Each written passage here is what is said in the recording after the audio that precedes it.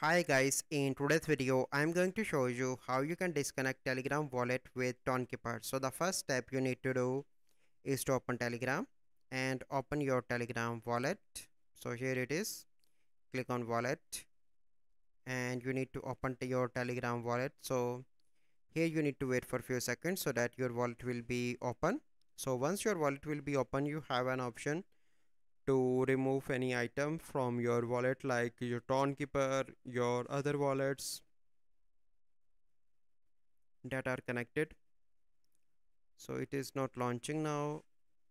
Sometime it do this issue like this but uh, once you open this you have a on the top page you will find different wallets so let's suppose my Tonkeeper wallet is connected you need to select that and click on three dots on the top menu like this and click on remove from menu and then then it will be removed. So this is a process that you need to follow. So i hope you find this video helpful. If you find this video helpful must like this video subscribe to our youtube channel for future videos. We'll see you in the next video. Thank you. Have a good day